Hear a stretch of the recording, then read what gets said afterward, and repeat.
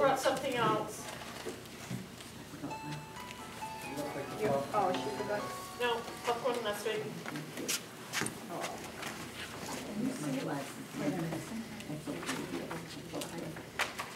I have another copy. Well, Hold it close to you so you can see it more.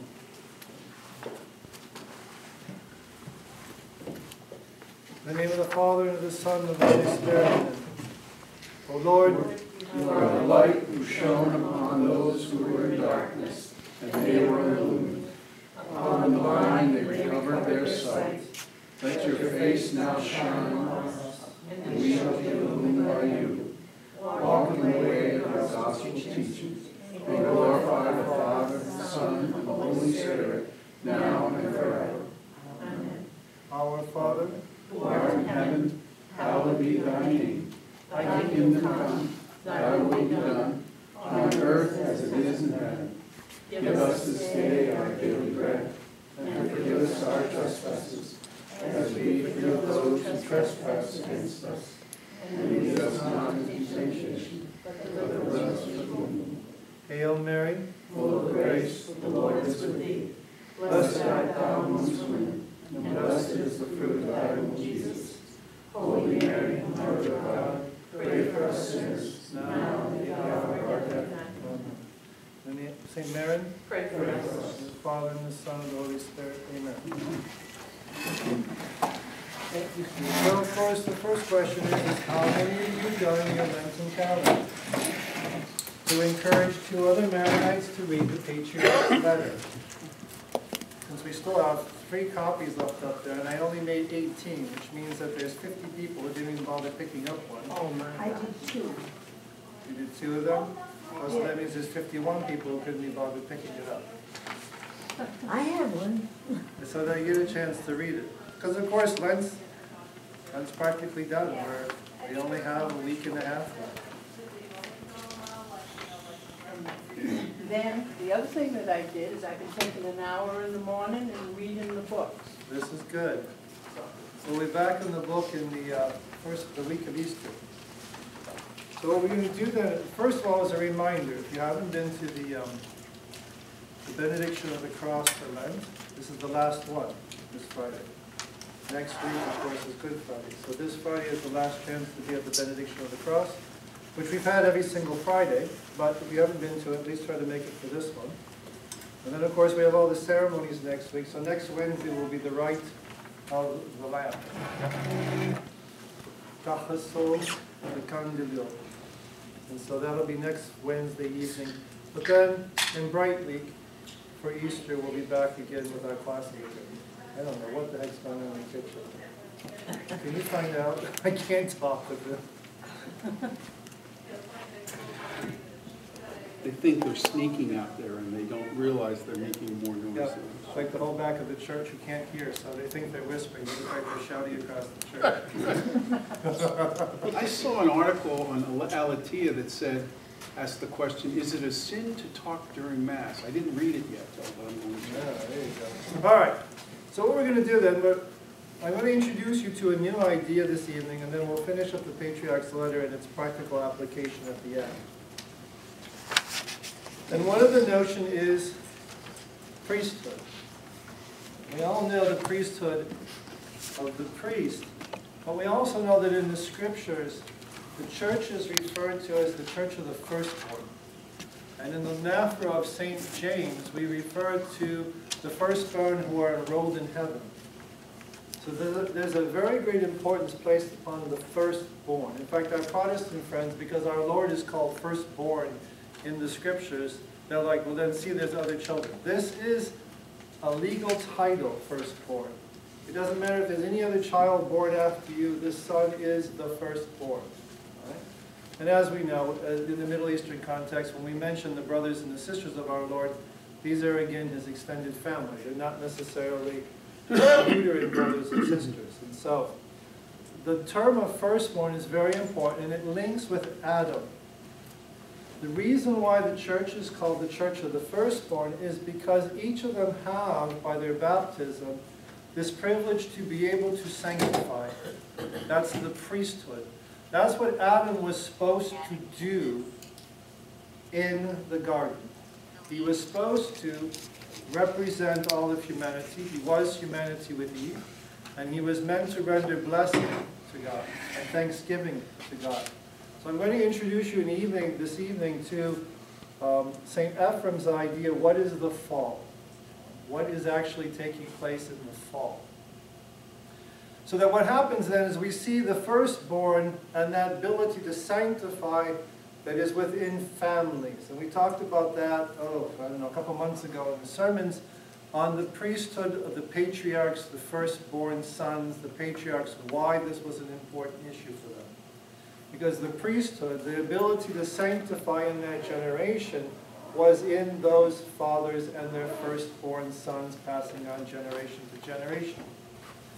In Christianity, by baptism, what happens then is that all of, this is why St. Peter calls it, uh, why St. Paul will call it in the letter to the Hebrews, the church of the firstborn, but he also refers to it, um, St. Peter refers to it as being a nation of priests. And the nation of, a nation of priests and the, a priestly nation, excuse me. And what he's talking about is by the consecration of baptism, each individual has the ability and the obligation for their own personal life, but their personal life has a radiance in this creation to sanctify, make holy. This is the reason why we do our morning prayers. This is the reason why we pray in the evening. This is the reason why we say grace at table. This is the reason why we make our thanksgiving at table. We render sanctification of the things that are around us. That is augmented by the sacrament of matrimony, where this young man and this young woman become a reflection of and an extension of Christ and the church. At that point, that man is not just simply a consecrated member of a priestly nation, which is the church, he is also the one who sanctifies within his domestic household. Right? Blesses his children when they go to bed, for example that notion of priesthood is also part of that. But that's not the universal priesthood, which is an extension of our Lord, which of course is the ministerial consecration of the sacrament of holy orders, which is universal. The priests consecrate everything.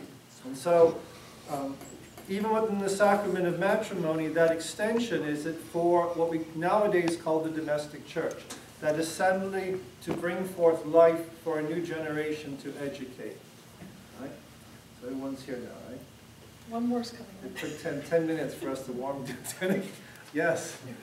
So then, how would that really be addressed to say, um, a single mother? Isn't coming in? I mean, who really does? But that's why it's always been considered an abnormality. You know, a single mother may be in a situation and we may need to help her, but it's always considered abnormal.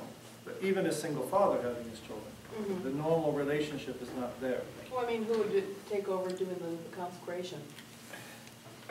Well, obviously, there's no domestic priesthood because there's no sacrament of matrimony. Well, I'm talking about for like a widow. Insofar as, you know, her consecration by her baptism, she can render those things in her personal life holy, but it's not the same thing. This is why the sacrament of matrimony has a great importance, because it's a reflection and an extension of Christ in the church. Okay? So, the reason why we're introducing this is because I'm going to give you a reference in St. Ephraim. And I'm using the translation of Mary Hansbury, H-A-N-S-B-U-R-Y, Hansbury, of some of the hymns of St. Ephraim. When you read them, they're referred to as being table blessings, but like they go on forever. So they're not, they're hymns, they're what's called a memro. They're a form of Syriac um, poetry. And so the notion of Adam as being firstborn, the first created, created and then placed in paradise to take care of it. Remember again, Adam, Adam, when he's created, we are told by Genesis that he's placed in paradise because there's two there's two versions of the creation of mankind. One, Adam is created from the soil, and another one, Adam is created male and female. Adam is placed in the garden, placed in paradise, in order to tend it and to take care of, keep it. There's an intelligent consciousness that is introduced into the garden, and Adam, as the firstborn in this instance in creation, being born, being created, he is meant to exercise a priesthood of rendering thanksgiving to God in the name of all of the non-intelligent animals around him. Which is why in Genesis it talks about that all the animals are brought to Adam. It's not saying all the billions of different animal life on earth had to march up and look him in the eye. It means that he has knowledge, he names them, he knows them. This is part of the knowledge given to Adam. And Adam is meant to render this thanksgiving and praise to God um, for all mankind and for, in fact, for all of creation. All right? So this is what he's supposed to do tending the garden. And obviously, as we know in this story, he fails. He fails. For St. Ephraim, the way we approach God is through praise and wonder. We stand in awe before God and we render praise. We render thanksgiving. All right? So the idea when Adam is created in grace, he's created in union with God. It's to understand that humanity from the beginning was created in grace and in holiness from the beginning. This was it. And we mentioned to you before, no human being from that day is simply pure nature. It doesn't exist. You're either in the state of sin or you're in the state of grace. There never has been a state of pure human nature.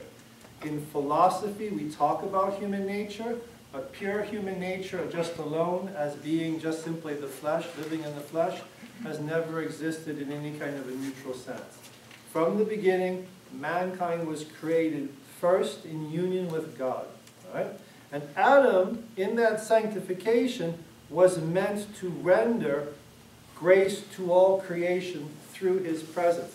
That's part of his tending and keeping of paradise. This is going to link up after Easter when we come back to the doctrine of the two spirits, the two ways, the two paths. So, Question, yes, was Adam the first priest? sorry? Was Adam the first priest? Absolutely, that's, the- that's the whole meaning of this, yeah. Yep. So, I'm going to give you the Latin word for priest. Sacerdos, or sacerdotes. It, it's where we get our word sacerdotal, that comes from it.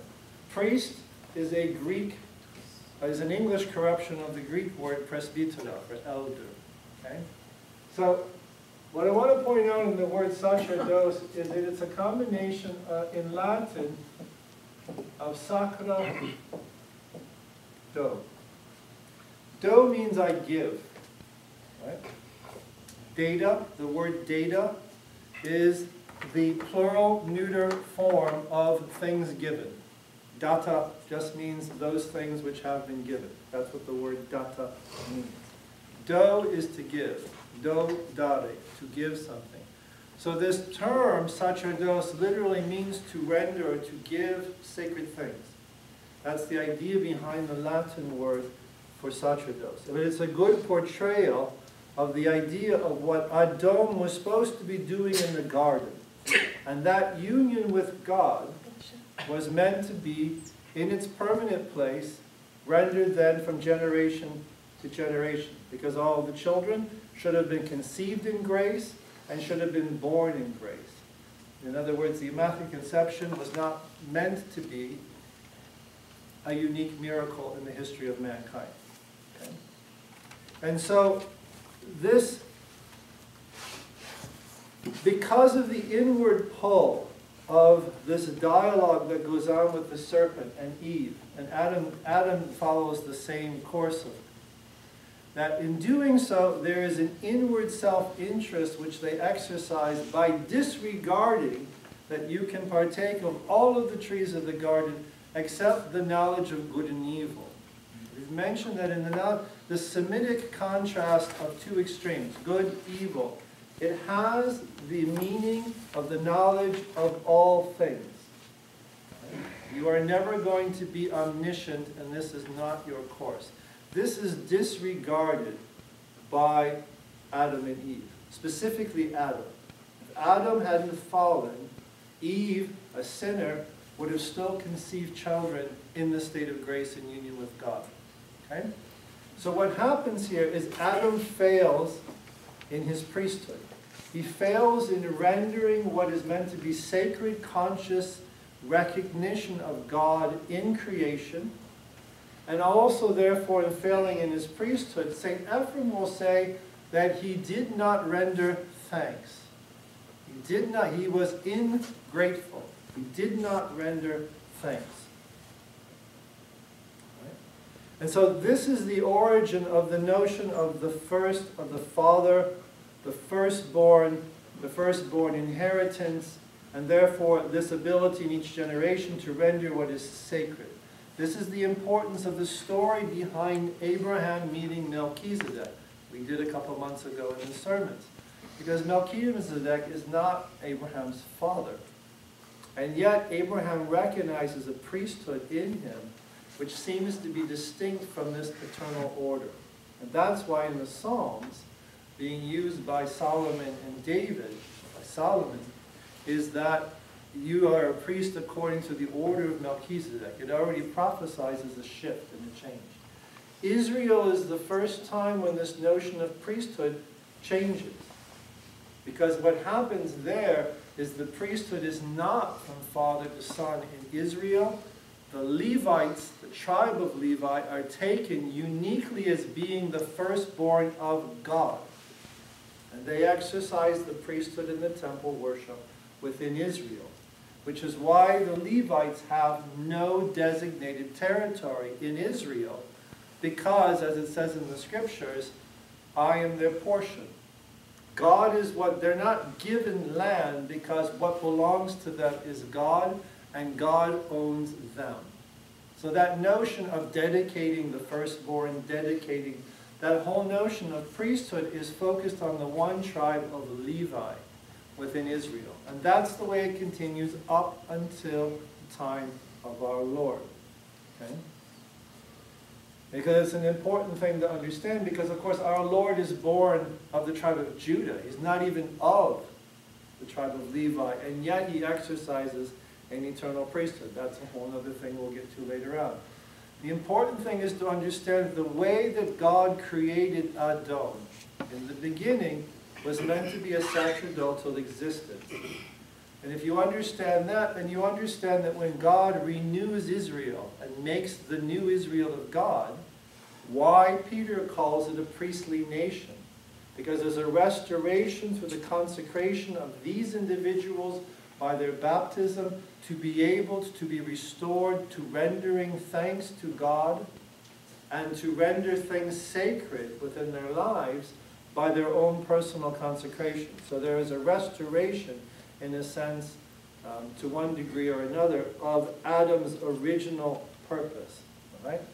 And that's why then the body of Christ, the church, the priestly nation, is that exercising to the degree through baptism. That's what gives you the possibility of being present at the Eucharist. And that's why for the first centuries of the church, if you were not baptized, you were never in the assembly. You were not in even the building, okay? At least for the part of the sacrificial aspect of the Eucharist. Because you don't have the ability to participate in it because you are not consecrated, you are not baptized, okay?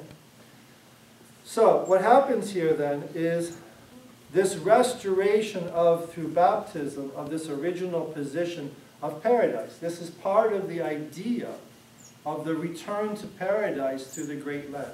Okay? Dale. Were women able to be baptized in those times? Oh, of course. Of course. And were they allowed to be in the church? Of course. Okay. And the lady section. Yeah, of course, up until the, really the 20th century, and most of the most of the church around the world, up until the 20th century, men were on one side, women were on the other. That's actually even just from the practice of the synagogue. So that's the In- In Ireland, up until the nineteen sixties, the women are on one side, men were on the other. That's a different question, that's. Oh, no, no, but I was wondering if they were allowed to be Oh, they were- baptized. Yeah, but of course they were, ba- yeah, they had to be baptized. That's the only path to redemption. They were baptized. And, and that priestly nation, insofar as women are baptized, of course, that's what allows everyone to be able to participate in the sacraments. That's what we call the priesthood of the faithful. As infants, are they baptized, or when they're, when they reach the age of reason? I don't know, the infant, the, well, the infant's not, you know, it doesn't reach the age of reason, so it doesn't exercise that, but it's consecrated still. Well, no, but I was just wondering, when they were baptized, was it as, you know, as infants, or once they reached the age of reason? Oh, no, as infants, yeah. All right, so, it's just one of those angles to talk about what Christianity means profoundly. It's not just simply a club that has religion attached to it. It is a profoundly, it is a profound vision of a restoration of what humanity is supposed to have been from the very beginning. This is why the story of Genesis, story of the creation of mankind, is not some kind of silly story that we've all outgrown. On the contrary, it is a complete uh, understanding of where humanity was originally supposed to be. And so that's why in the letter to the Hebrews, chapter 12, St. Paul refers to the church as being the church of the firstborn. Everyone's firstborn. They have all the privileges of receiving the blessings of their Father. And who is their Father? Well, of course, the hidden God of creation. And therefore, we had it as a reading last, I think last Friday. You know, therefore, if you are co-heirs with Christ, if we have a sibling relationship with God incarnate, therefore we are also heirs of the kingdom. That's the whole foundation of the idea of going to heaven. If you don't have baptism, you're not a co-heir. If you're not a co-heir, you don't go to heaven. Right? This is the church's doctrine. It sounds brutal in the 20th century because, of course, we, we have mushy thinking about what the gospel actually is. But this is also the meaning when we understand it, the profound importance of what baptism truly is. That healing of the spirit, yes. When I was a kid, there was such a place as limbo. Yep. I think we were all taught that. Yes. Then they got rid of limbo, didn't they? So what the heck's going No, on with that? Lim- Limbo is a part of what we call hell. I mean, limbo, hell is just the lower, it's a state of separation, it's not the vision of God. But to And so punish a anything- child, that, Anything which is separate from that vision of God, which is the destiny intended by God for every human being, anything separate from that is, the, the- is a lower existence. But it's punishing a child whose parents did not We're not to do gonna go there, because I'll spend the next hour trying to explain it. But does it, do they still teach us that it Absolutely. exists? It still exists, okay, I thought it was Oh, yeah, no, no, no. gone. No, we'll get, we'll get to it eventually, but the problem is I do tangent, no, it's because of me, it's not because your question is excellent. I do tangents of tangents and we never get anywhere. And I, we have to finish the patriarch's letter before the end of Lent, right? So, I don't want to be doing this in Easter, but it's a good question. But limbo comes from the word limino. It's the area of threshold. It literally, limbo literally means in Latin the threshold. They are separate, but they're at the edge, but they're still in a lower state of existence. Purgatory is part of hell. Damnation is, is the essence of hell. That state of separation from God. People in the state of mortal sin are already in that separation. They are already beginning hell. Hell in Saxon just means lower. It means a hole. And so it's referred to as being the grave. In Hebrew, we say Sheol. All right? Going down to Sheol. Sheol is the place of the dead. It's the grave that your body gets put into. And in the idea of the union with the divinity or not, it's a state of separation. So it has those three basic meanings. So anyone who has not been joined to God through that divine grace and the restoration will always be separated to one extent or another from God. Okay? So that's the encapsulized answer. And so the, the term about limbo just means they're at the edge of this state of separation. But it's part of hell. It's part of that state of separation. Okay? Yes, Are good are those in limbo, separ- uh, are they suffering in limbo when they're separated? St. Augustine says there is a pena levissima. a most light pain, but they have some kind of, whether it's the knowledge, Not seeing God. yeah. But of course, at the same time, that, that's prob, that's probably not the source of their suffering, because to see God is not part of our nature, right? And on the day of the resurrection, those individuals will not feel pain that you are glorified in the resurrection, because the glory doesn't belong to human nature any more than you get upset because you don't have, you don't, you don't possess horse hooves and can run fast. It's just not part of what our structure is. And so seeing God is something that does not belong to us as human beings. This is an important thing we have to always understand. That's why we call it grace, call it a gift. And this is what Adam and Eve repudiate in paradise because they're ungrateful. They do not render praise, which is the essence of sanctification. They're not rendering praise behind it. This is St. Ephraim's um, portrayal of what's going on here. Okay? So, it is, we're introducing it, in fact, so like I said, these hymns, this is one of, this is in this book, it's memori, it's memora number three. What these table blessings are, is it seems that the tradition that it was referred to in Corinthians of the agape, it's not a normal dinner, it's an institutionalized dinner that Christians would have. Agape means charity. So they would exercise it in such a way as to, it was a practice that was done to reflect the Last Supper of eating together as a union, but it's not the Eucharist. It's a different thing from the Eucharist, but it's not a mere Sunday afternoon family dinner. Okay? St. Paul, to the letter to the Corinthians, it's another problem the Corinthians are doing, is that he says they're abasing the agape. They're abasing it because the people who have money are just coming and they're bringing really nice food. And the people who are poor, of course, can't bring much. And they're not sharing at what should be the institution of recognizing charity among themselves. And St. Paul says, look, don't you have houses to eat and drink in? You're not gathering at the church to have this meal just to eat and drink. And therefore, because of this disorder, and they weren't waiting. You know, some of them just came with their own picnic, flopped down, started doing their own thing instead of waiting for the assembly of the group together. So there's a number of different things that he, he wants them to correct. And ultimately, this was dropped as a practice. And the agape. I mean, some Protestants have tried to restore it or something. They, they do something they call it agape.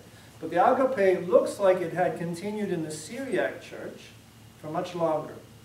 Because St. Ephraim is writing blessings, hymns to be sung at these assemblies, at these, these gatherings. Okay?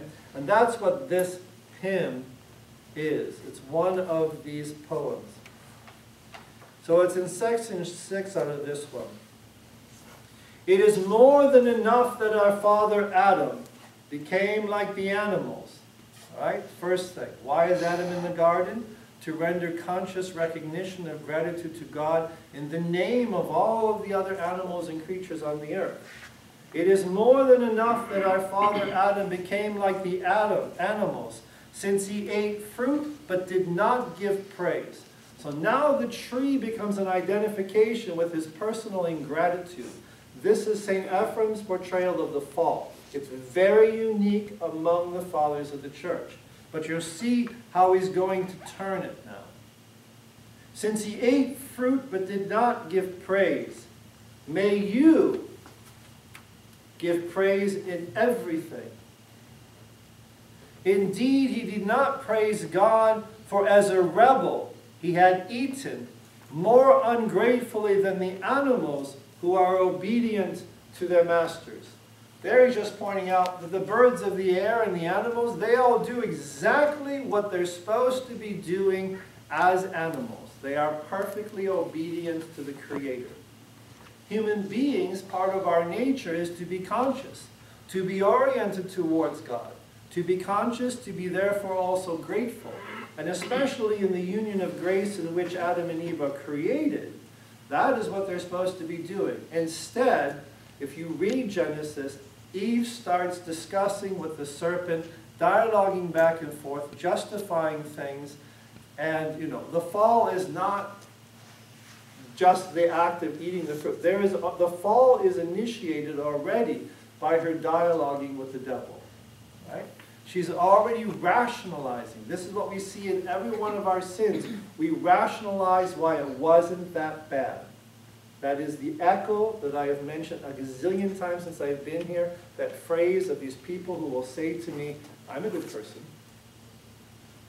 If you, can if you go into what that good is supposed to mean, it means I haven't shot anyone and I haven't stolen too much from my place of employment.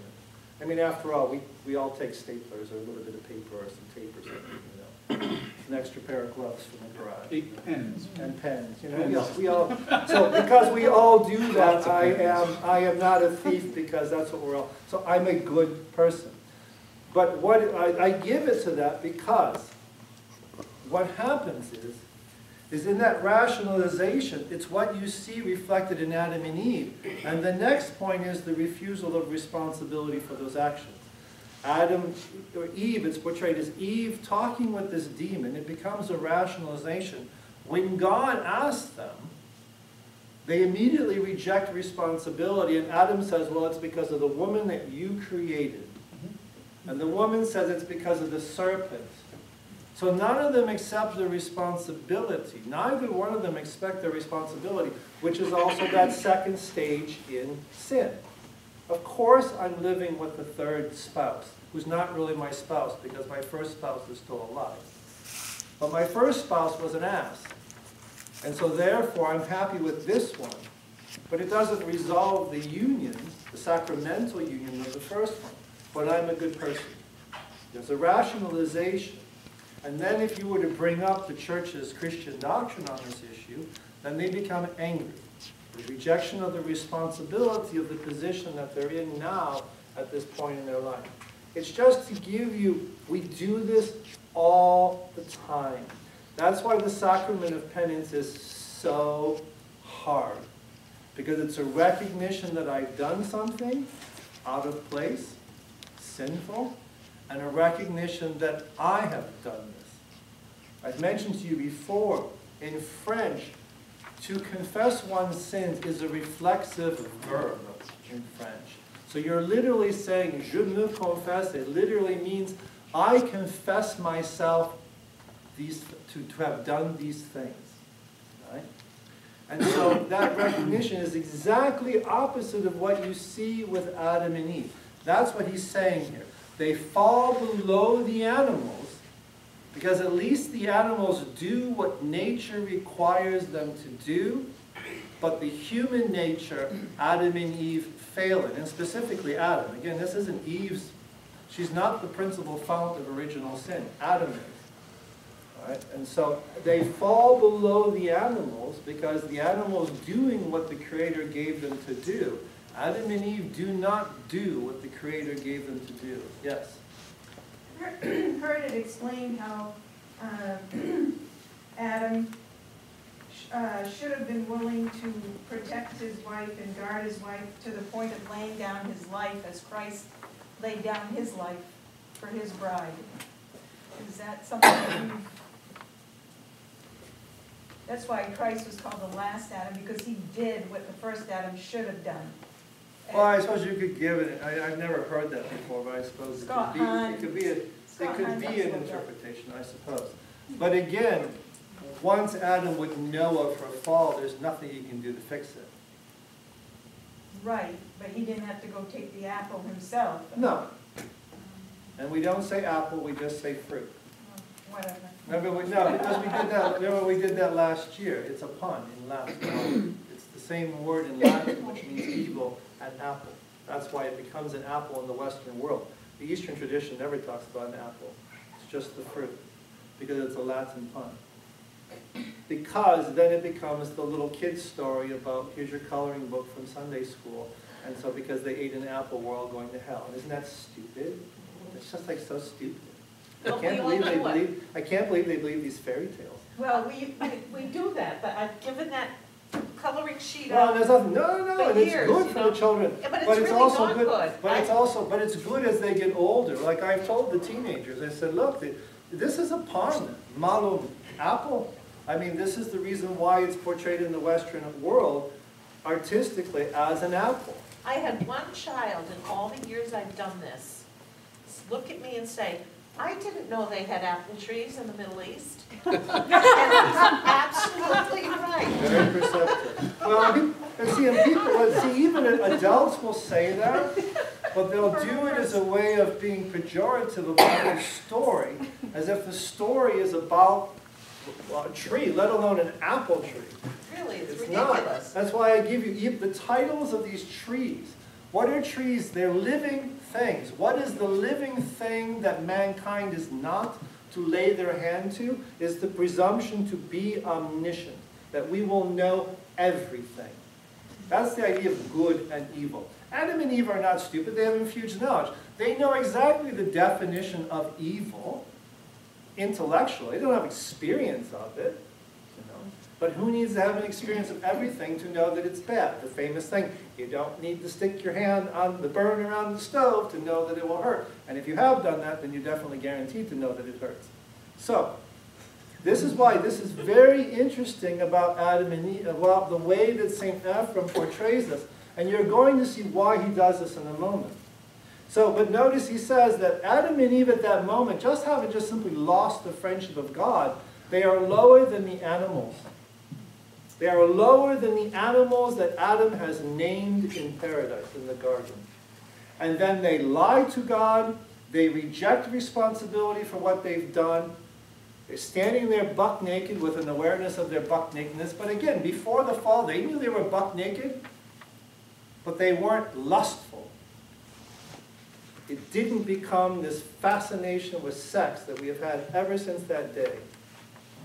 And so what happens there is then when this questioning in Genesis that goes with God in paradise in the garden, the rejection of the responsibility, humanly speaking, they're totally abusing their intellects to excuse what they've done wrong, which they know intellectually they've done wrong.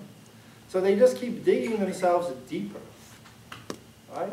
And then, of course, once it's all said and done, God basically says, well, get rid of those stupid leaves that you're wearing.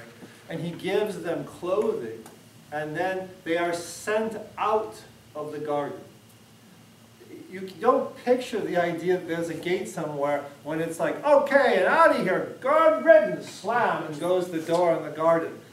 The garden is creation in its original state. The original state is wounded and is shattered because of what the priest Adam does. Right? You know, link it to all the things going on in the Catholic Church today. When the priest falls in his priesthood, everything gets shaken. And Adam is meant to be the priest of all mankind in creation. So at that point, they are sent east. They are sent out of the garden. Paradise no longer exists. People say, we're going to find paradise. Doubtless, Adam and Eve lived in a geographical space. They have bodies. But it's not like there's some walled garden someplace that you're going to mm-hmm. find where everything is still just waiting for people to come back after, you know, thousands and thousands of years. That's not the point. But you'll also notice that when they are sent out, they're sent to the east. They are sent to the place where light rises. And God gives them garments to better protect it than this kind of shupshlad, you know, leaves that they've pulled down to cover their bodies. And then that's the sending out of the garden. And that is why then the living reality within the garden called the tree of life is then guarded by a watcher, guarded by an angel with the flaming sword. Because it's not telling you God is going to be jealous and not let them get to this tree, because if they get to the tree, they're going to live forever. It's because life is now closed to them. When you read these things, they have meanings in them, right? They're not, you know. But yes, when we're little, we color in the little pictures of the little naked people standing behind the bushes. But when you're in middle school, you need to be learning at a middle school level what that is. And when you're in high school, you have to know even more deeply what that story is about. And as an adult, Read St. Ephraim. Understand the destruction of the union and the power of sanctification which takes place in this. Yes? So, kind of odd question. Um, now where the uh, eternal life was closed off to them, did they have it before? Absolutely. That's being, they were created in grace. So they had eternal life, but then they basically threw it away. Absolutely. That's, that's the fall. Yeah, that's the fall. But St. Ephraim's giving part of this fall, which is they do not render this thanksgiving. So they are more ungratefully than the animals who are obedient to their masters. Since Adam did not praise, our Savior gave praise. Now the new Adam, what is the new Adam doing? He is going to exercise that priesthood that Adam failed in. Now notice that the idea is the praise and thanksgiving. So our Savior gave praise and he broke bread. Kso in Syriac. That's the wakso, when the priest is like going around the host during the consecration of the Mass. Wakso means and he broke.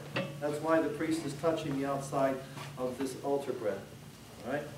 So he says that since Adam gathered, he took from these trees, but he did not render thanks for what had been given to him. Our Savior gives praise, broke bread. But what is the very name of his death and resurrection in the sacred mystery? Eucharistia. Eucharistia in Greek means thanksgiving. That's what it means. So Ephraim is linking. Adam does not give Eucharistia, but our Lord comes and he praises God, breaks bread. He renders Eucharistia and gives us this possibility. And therefore the next line, as he had made restitution for Adam's debts, for his debts. And so over the bread he bestowed thanksgiving. Instead of the one who refuses to give praise, who will dedicate praise? For all of us was rendered this praise which our Lord sang. If we have not given thanks at our table, remember this is at the agape, it's the end of, the, the end of this hymn. If we have not given thanks at our table, his table does not welcome us. His table is the altar. If we do not, if we have not given thanks at our table, his table does not welcome us. But if we give thanks at our table, the good one will make us worthy of his table. So St. Ephraim spins the whole thing, not about obedience to law or all of these things, but he, he renders it in the question of praise and thanksgiving and ultimately of priesthood. So we just wanted to tie this up because when we talk about the fasting, and this next part that we'll look at after the break, why do we do these things? You do these things because within your family and the sacrament of matrimony, when the family fasts, and you'll notice the patriarch talks that the children of the age of reason should begin to be initiated in these things. You're sanctifying not only your household, but it's a holiness which will also extend out to the people around you. And so the fasting aspect winds up bringing in to unify the faster's spirit.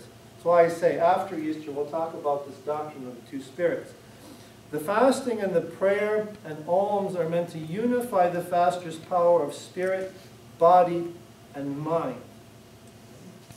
Because, in the second point, is it withdraws us from the fallen world. The world as it stands, you know, Mount Katahdin, as it stands, in all of its beauty, is not as beautiful as originally was created, and it has not been sanctified by God. Therefore, as far as the church has seen, it's still part of the fallen world. Part of the fallen world means it's the domain of the devil. Remember when I told you in Europe all the major mountains have crosses on top of them? Because the Catholics throughout the centuries redeemed their landscape. Redeemed. You find shrines all over the sides of the mountains and the hillsides of Bavaria. Because they are redeeming the land. They till the land. They render thanks to God for their crops. They bless their fields in the springtime. They give thanksgiving for the crops when it comes in. We have it with the whole blessings that we have around Our Lady of the Seeds. And then, of course, in August also, the blessing of the grains through the intercession of the Mother of God. It is a restoration of that churches, of that fundamental human reality that was meant to be there of priesthood. It removes it from the fallen world. When you become romantic about nature as if it's intrinsically holy and that's the place where you find God, that could not be more antithetical to the Catholic concept of the world and being cast out of paradise than if you try. Which is why that romantic notion of the world is the creation of Anglican Protestants of 19th century England. The whole romantic movement comes out of Germany and England in the 1800s. And so they start going to Switzerland because they're going to be in awe of the big rocks. Okay. So this is an important way to start thinking. So the second point is it withdraws us from a fallen world in order to bring this conscious service to God. And the third point is that this clarity of spirit right, allows the individual in their personal life as a channel of holiness. That's the reason why we fast pull in. This is the priesthood of baptism, the priesthood of the faithful. It allows us, me individually, as a baptized individual, to become the channel of holiness. But then in my personal life, not just simply to be a channel of grace within my life, to have that impact upon the people around me. I can't sanctify them as such. Um, but I can be a channel of that holiness, and not only to be a channel that grace flows through me as a child of God, but that I can also, by the combat, by the ascesis, by the training, become a reservoir. So that I am a place where holiness is reserved. It's a, it's a, it's a reservoir. And that reservoir means that I have an even greater richness through the example of my life. And this is the meaning of alms. Remember, alms is elimoisuna. Alms is, does not mean money. It means the works of compassion. Okay? So that's why to link all that together with Adam in the garden, that the priesthood of baptism, the priesthood that belongs to this priestly nation, which is the church, is to sanctify the temporal order. If you understand all of that, what it means is that as you're sitting there and doing your data entries into the computer, and it's really boring, your presence within that office is meant to be part of the redemption of the temporal order. You're a farmer, you have your fields blessed. That's why we have all these sacramentals of blessing fields and grain and grapes and everything else, is because 80, 90% of the population for most of the history of the world have been farmers. and so, of course, they sanctify their temporal order. But the banker is meant to be sanctifying his temporal order of economic finance. I don't know how often that does it, but every one of those Catholics, but it, what it means, and that's why you start standing in awe of the Day of Judgment, is because that banker is going to be asked before the divine light, how was it that he redeemed the order of modern finance by his presence within it? We are meant to redeem the temporal order in which we function. A teacher, a banker, a farmer, a trash collector, whatever it is, that's the priesthood of the faithful. That's the priesthood of the sanctification of the temporal order.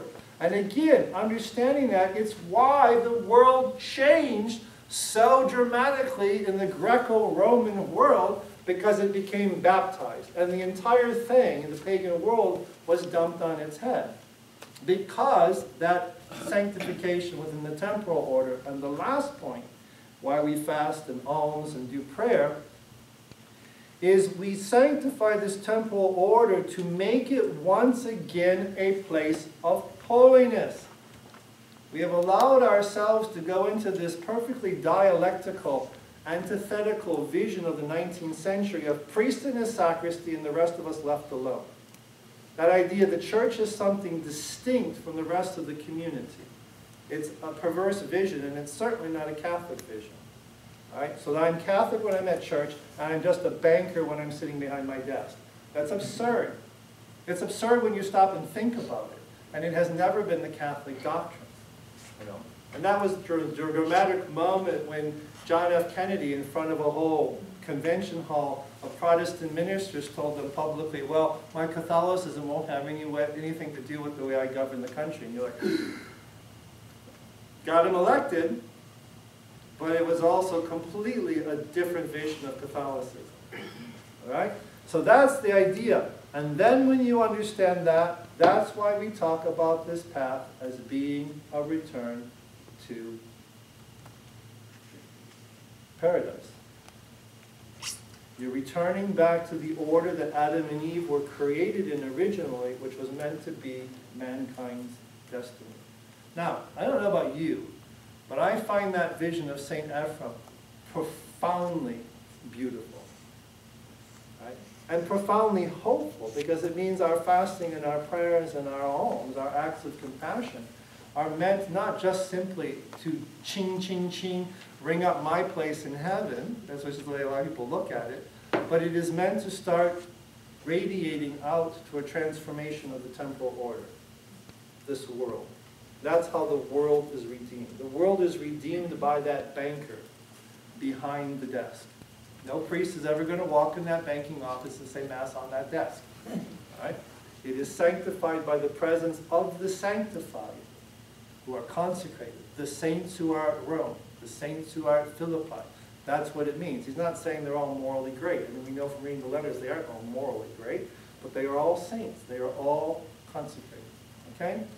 Caffeine break, and then we'll come back to the patriarch's letter. All right. So, don't worry, on the whole question of, when we get to the, when we get to the, the mysteries and we do baptism and that, we'll talk about all these questions, theological conclusions, everything that flows from it all that.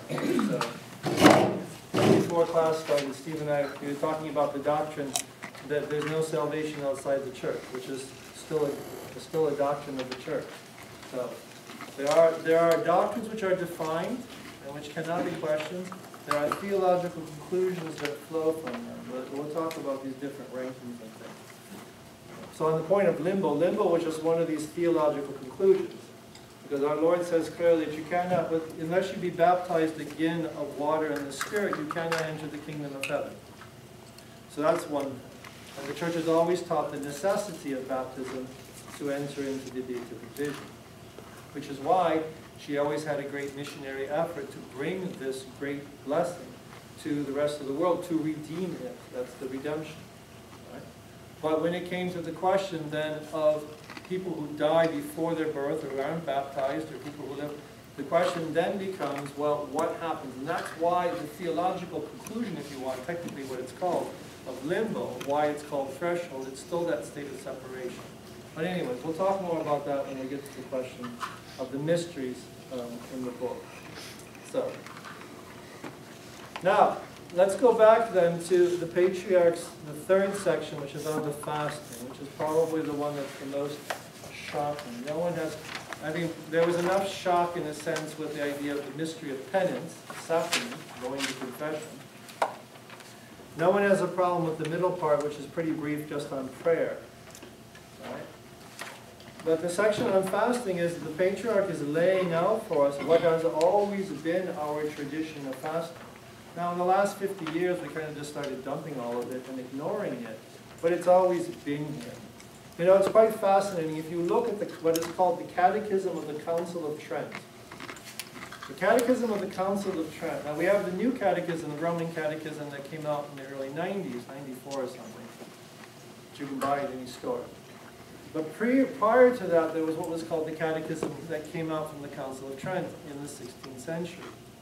It was distinctly written for the parish priest because it's a, it's a thick book, synopsis of all the doctrines. But what was interesting in it is in the back, there's an appendix. And in the appendix, it, they give a breakdown covering subject matter that if the priest did this, he would cover the whole doctrinal expose of the Catholic faith within a year.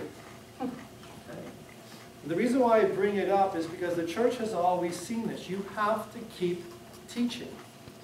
You have to always be explaining doctrines. We don't remember things. We don't remember things walking down the hall while I went into the kitchen. So the doctrines and the clarity of the gospel have to continually be taught. And the primary thing that the priest is doing in the homily is as teacher, as prophet. We use the term office of prophet. To teach. He's not there to entertain you. He is there to give an expose of what we believe, how we believe it, and deepen that continually. So that in theory, somebody at the age of 97 has a more profound understanding they had than when they were seven. Because they have now heard almost a century of this expose and the Gospels. And for us, it's even easier in the sense and more profound because you can really deepen it because our readings every Sunday, year to year, are the same. We don't go through this three-year cycle. And the three-year cycle for the Latins actually is also relatively new. Up until this late, up until the 70s, throughout to the 60s, it had also an annual turning of readings. Every Sunday, every third Sunday after of Lent would be exactly the same gospel, exactly the same epistle, the same way we do with the Maronites. Because the liturgy is not a Bible study. This, a Wednesday, a separate time, is a Bible study. And that's why there's distinctions on a homily. A homily is when the preacher then is going to give you an explanation of the sacred text. A sermon is giving you an expose of the doctrine. A prone is an expose on a specific virtue. And the sermon may have nothing to do with the sacred text being read. Because we'll have a beginning and a middle and an end to talk about some doctrine. Next year, my third year here, is going to be all sermons. Because we're going to be doing the liturgical year and the vision of what we do, why veils and everything else that we do, why we do what we do. Because again, that has to be explained. Because if we don't explain why we do what we do, the first step is, well, then we just do what the Latins. And the Latins aren't doing too much these days. And so we tend just to do, and then of course if we're never reminded to bolster up, then we all just kind of sink down simultaneously together. And that's why the idea of the week in and week out of the preaching is meant to be continually just to re-expose. That's the idea behind it. Subject doesn't change, it's always Christianity. Hmm. but you go deeper and deeper into it. Okay, that's the idea. And that's essentially what the patriarch's doing here. In theory, we all know what's in this letter. There's nothing new. There will be never anything new in a sermon. There'll be no new doctrine. Now, it may be new to you, but there will be nothing new ever given from the pulpits. And when there is something new, that's when everyone starts howling. Remember? Patriarch Nestorius in Constantinople saying, well, Mary's not really the mother of God. You've got to think a little more clearly. There he was directly opposing the tradition.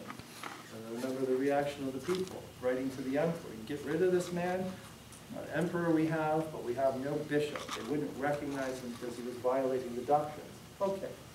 So what the, basically what you have in front of you in this section on fasting is the tradition as it was canonized in a sense or specified from the early 18th century.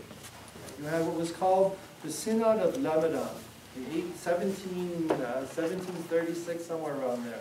And the Synod of Lebanon was like one. It was like it was the equivalent of the Council of Trent for the Maronites. It was the moment in which the entire vision of the church, right, of the Maronite church, was being codified, categorized, unified in its practices and its disciplines. And that's what you have this fast.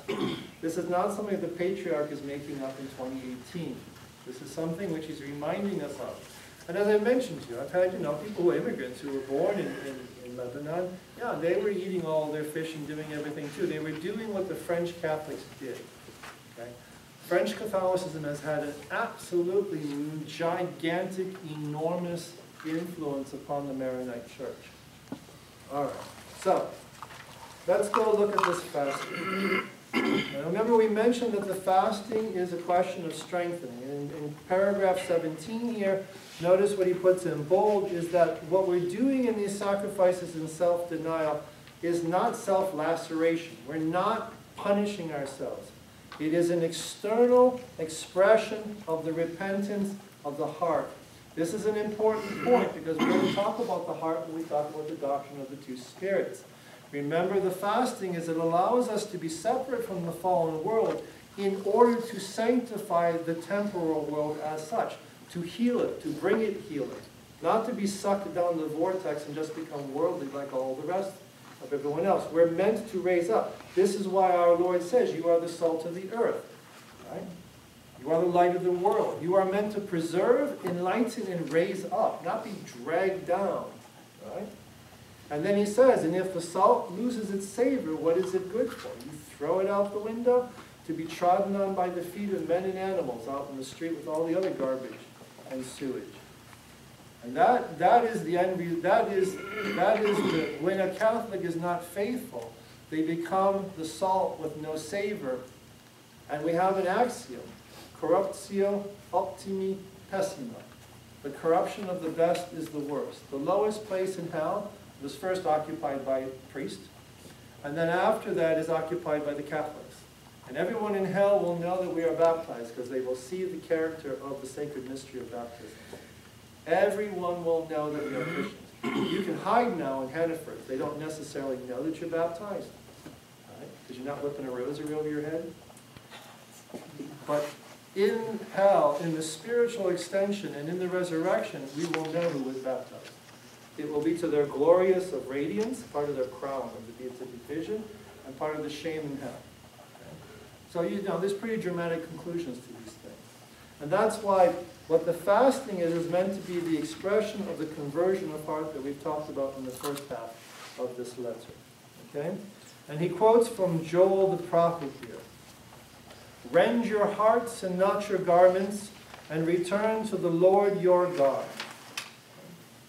It's the prophets, the great prophets, Isaiah also, and Ezekiel, of moving, of moving the Jewish nation, the, the people of Israel, away from external observances and understanding that this is meant to be doing something internally. So that's why in the next paragraph, fasting is divine obligation. No priest, no patriarch, no, no pope could ever tell you, forget about it, you never have to fast. It would be a violation of the divine law. Okay? It's an obligation, has always been an obligation, and will continue to be as part of the divine law. It is an attitude of modesty. And remember, modesty comes from modus. It means a measure, balance, a modality. So modus is a question, it's a question of balance and a question of humility before God. We recognize who we are before the divine majesty. Right? That's what fasting is meant to be expressive of. And an openness, and this is the key, an openness of the heart to the divine light. This is a disposition of the yesharim, of the, of the path of light, of life. Fasting, as we mentioned, it clarifies the mind. Right? And so it opens us to the divine light. Right? So this is really, um, he's laying out the whole foundation of the thing. And of course, our Lord set the example. Yes? Uh, just how do you address it, like if someone has medical reasons why they, Well, it's like their medication, so they have to do. But as we mentioned, we talked to others who, you have to eat something with your medicine, you know. Well, if a handful of almonds will work, then do that, you don't have to make an omelet. So you have to eat something, but it could be, you know, what you actually, you know, the limit of what you need for your stomach for that. well, I'm talking about more like diabetes or hypoglycemia. Yeah, or- that's part of it, it, it becomes medicinal at that point. You have to, you know, you have to follow the directions of what you need for proteins and that, so, yeah, that's fine. That's the medicinal aspect, right?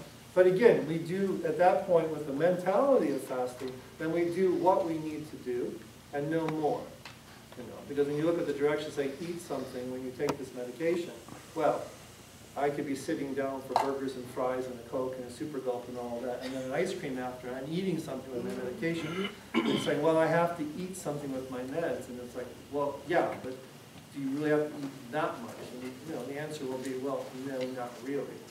So the fasting understanding is we would eat what is necessary for it, and but not expand it out further than that. Okay? All right, next page. We have it as part of this divine law. You have, he doesn't have it here, but it's a reference to the Gospel of St. Luke, chapter 13, verse 3. When our Lord, when we gave the example last week, when we were talking about the fact that uh, when our Lord was discussing about the death of some individuals who died in, had died recently by the collapse of a tower, whether these people died because they were more wicked than other people, is that why they died? Because that is an Old Testament vision of things. And our Lord tells them no. that Of course, it's not the reason why they died and other people standing, you know, seven feet from them didn't die from the collapse of that wall. But he says, but I tell you, if you do not do penance, you shall also likewise perish. He then lifts it to the level of, of the, the spirit. All right. Then in paragraph 18, he also mentions um, some quotations there, some of the things from Pope Francis. But one of the things I want to note is that towards the end, it's on the very last line, but you have like the second from the bottom. Fasting wakes us up. Fasting wakes us up. I mean, there's a reason why Uncle, Uncle, Uncle Sam, you know, unbuttons the top button on his, on his pants at Thanksgiving and then waddles over to the sofa and then collapses, you know, because he has a surfeit of food within his belly. Now he's going to digest like a python. So when we fast, it has the opposite effect of not weighing us down, but allowing for us for clarity. Okay? And so, you know, putting it in the terms of fasting wakes us up. There is a clarification of the mind that takes place. And the clarification of the mind is not illumination. Illumination is the grace that we are open to by our fasting. All right. Almsgiving, number four. No, actually, so I guess we didn't actually do this, did we? So, fasting, the word, excuse me, almsgiving,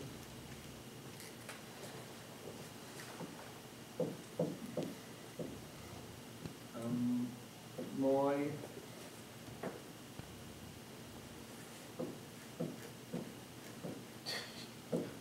Elimoisuna, okay?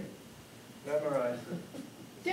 E L E long E M O S Y N A. Ele Eleimoisuna. All right, Eleimoisuna. Eleimoisuna, this is where our word alms really comes from. That's why I told you that alms is not plural and alms is not about money. It can be money, but alms is not about money. Everyone is obliged to do alms, poor or rich. Okay? Because what this means is, you know this because you always sing Kyrie eleison, eleison. The, the foundation of this word means compassion. All right? Kyrios, Kyrie, Lord, eleison, have compassion. Lord, have compassion. The foundation, so the root of this is this elei. So you know the word eleison, you know it as have mercy or have compassion. The word here, elemoisuna, literally means compassionateness. Okay? Compassion is. Compassionateness. Compassionateness. Compassionateness. Compassionateness. Right. Yeah. Compassionateness, Or works of compassion, if you will. You can say that. But so what happens is this word, all right, it becomes different things in different languages. So, Elimoisuna, it's too much of a mouthful. So over the next 20 centuries of Christianity, you kind of like chop it up, right?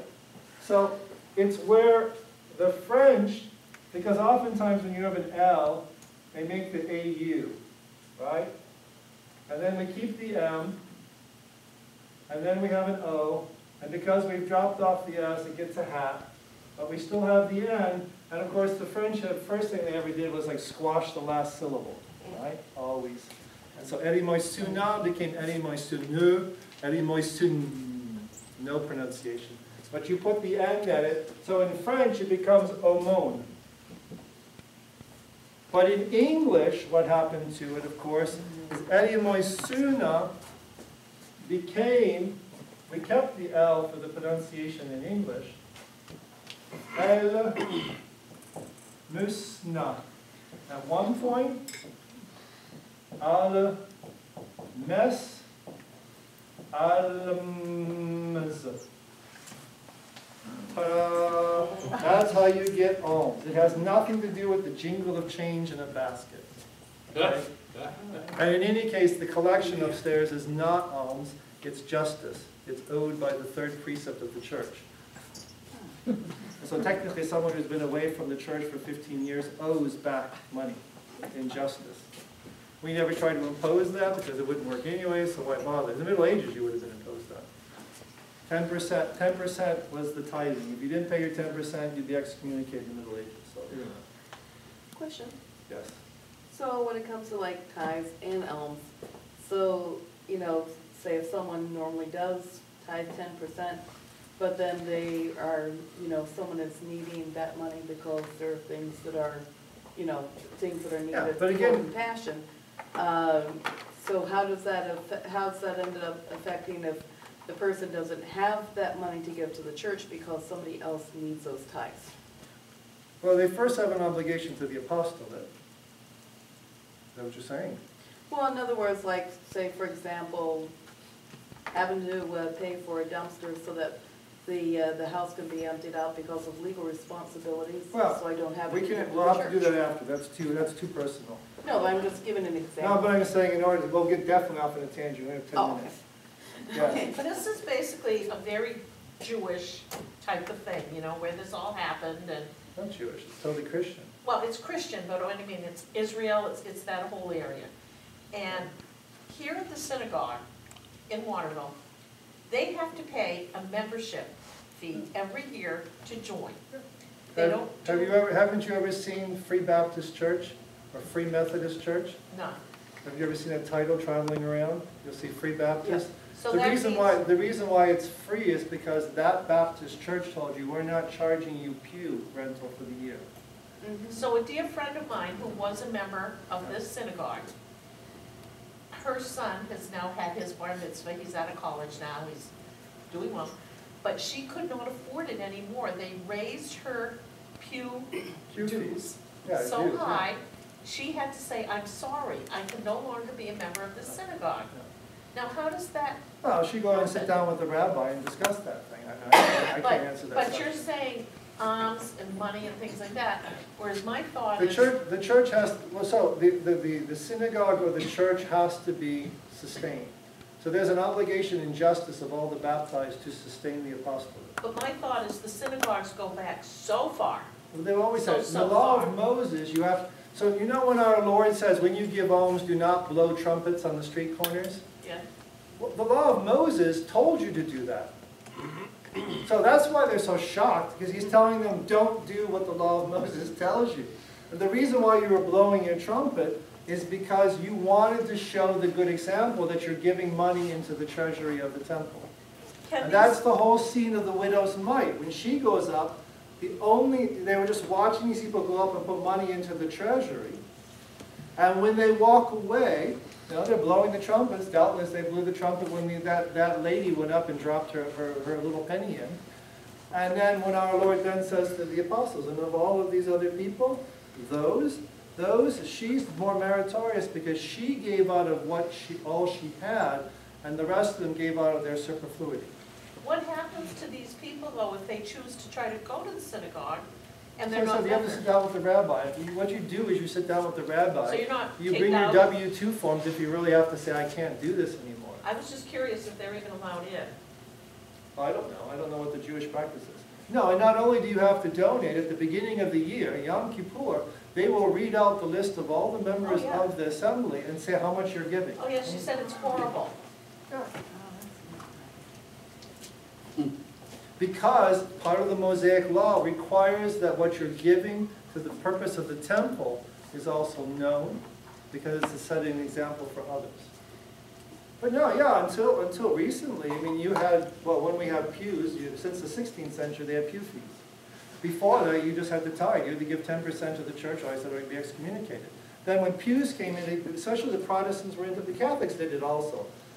The original reason was being, well, we have to pay for these pews, build them, right? So now you need to pay to use them. You know, if you look at all the ancient Roman churches and that, there's no pews in them, you just have a big open space. You want to sit, you sit on the floor. Yes?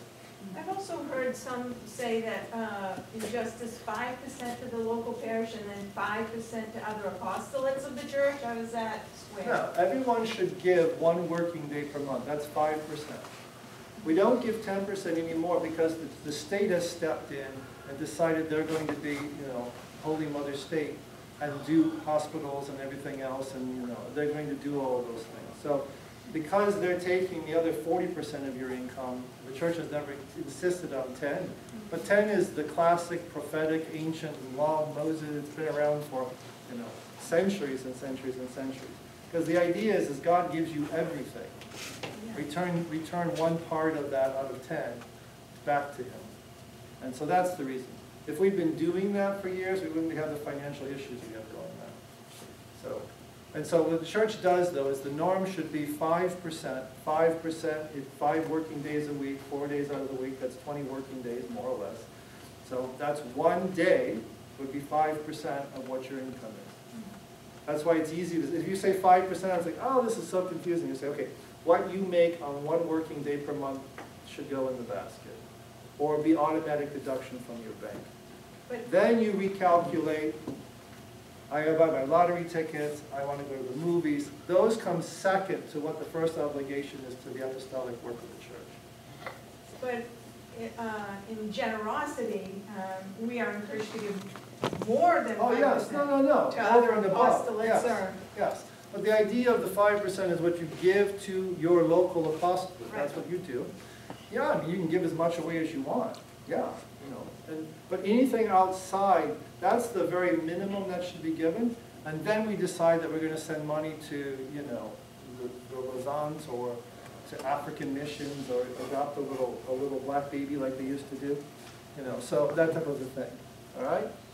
But all, but the, the thing is, what's important on here is that alms is not about dollars and cents, which is all the more reason to understand that the collection is not alms.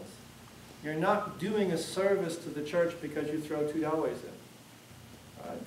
That may be the only thing that we have, and that's fine, and that may be my five percent if you want, right? The big thing is, is to understand, that's a question of justice. When we're talking about alms here, this is over and above.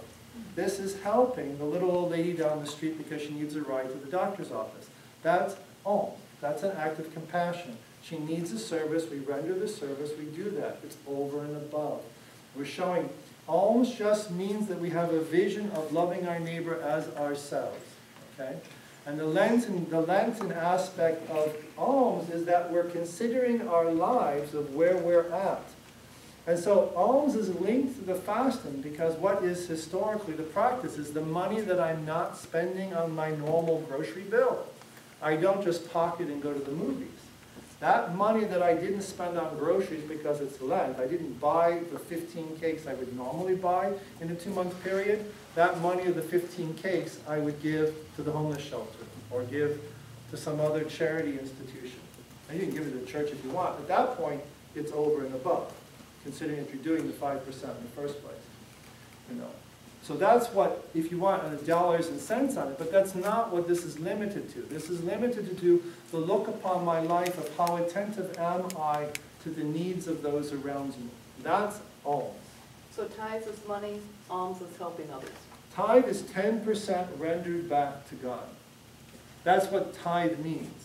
That's what dime means. The French word dime, dime, means a tithe. That's why we named our little coin after it, because it's one tenth of a dollar. Un dime, and then a quarter. So that is, um, that's the aspect behind it. So like I said, up until relative, until the last two hundred years, the norm was always time, at ten percent, okay? And that's why our Lord, uh, in the gospel, he says, look, you, you tithe everything. You tithe the weeds in your field. You tithe the mint and stuff that comes up with your crop. You're growing barley and things that other grow, you also take 10% of that mint, he says, or the parsley growing in with the grain that you're growing. And you give your 10% of your barley. He says, and that's fine, you know. He says, but you have forgotten, and then he quotes from the Old Testament about mercy and compassion. And he says, you have forgotten those things because there's no law about being, uh, you can't put a law on being merciful. And so he says, you have forgotten this part of the prophet's teachers. You should not have not, he doesn't say that you should not have forgotten this while doing the other things. He says don't tithe. He says don't not tithe. He says that you should be doing that, not consider yourself to be sufficient, because mercy is greater than sacrifice. That's the alms aspect. And so in Lent, what we're doing for two months is we're considering our attentiveness to those around us. Okay? And the basic principle here is God is never outdone in generosity. Okay? When- we, we worry about things too much, God will never be outdone in generosity. Our Lord said to the rich young man, Look, you want to be perfect? Sell everything you have, give it to the poor, and come follow me. Was that a bad deal? Hard to say that it would be a bad deal. But the young man doesn't do it because he was rich, and he walks away. And that's the context when our Lord says that it is easier for the camel to pass through an eye of a needle than for a rich man to enter into the kingdom of heaven. That's the context of it. He says that as the young man is walking away from him disappointed. Told that explicitly the gospel. And we're also told in the Gospel of St. Mark that before our Lord says any of that to this young man, we're told that our Lord looks at this young man and he loves him. We're never told that about him. We know Martha, Mary, and Lazarus are the ones that he loved, and of course St. John always refers to himself as being the beloved disciple. Other than that, someone coming up in the crowd, he looks at this young man and he says, You've asked me about the kingdom, but I tell you, if you want to be perfect, there is something missing to you. Sell what you have, give it to the poor, and then come follow me. And he walks away. And when he walks away, that's when our Lord says, It is easier for the camel to pass through an eye of a needle than a rich man to enter the kingdom of heaven. Doesn't reflect well upon that young man. Okay? Any questions? Because I guess we're going to have to come back to the fasting throughout the year on Easter week. Any questions? Because I wanted, we're going to talk about these calendrical fasts. That's what's important. And then we'll throughout the year, you know, and we'll describe why the question of the, the quality of the, of the foods that we're eating and not eating during that time. Okay? All right. So next week is the rite of the lamp. I highly encourage you to be there for this healing ritual. And then, and it's all new this year. They just sent us a translation of the ritual of 1942 from the Syriac. All right? When, The rite of the lamp. When? Wednesday. Wednesday at six. Six thirty. Thirty. Here in the. Yeah.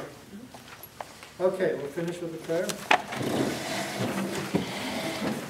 In the name of the Father, and the Son, and the Holy Spirit, amen. O God, you are before all ages, and you exist from age to age. You are splendid and glorified in unsearchable light. Through your word, you bring forth light and give us each day. O radiant day and source of all light, we glorify you, we adore you, and offer you praise night and day. Accept our prayers and answer our prayers. Send us your abundant blessings through the mercy of your Messiah. To him, with you and the Holy Spirit, be glory, honor, power, and thanksgiving, now and forever. Amen. glory be to the Father, And to the Son, and to the Holy Spirit, as it was in the beginning, is now, and ever shall be, world without end. Amen. O Mary, conceived without sin, pray for for us. have recourse to you. In the name of the Father, the Son, and of the Holy Spirit, amen. Amen. Mhm.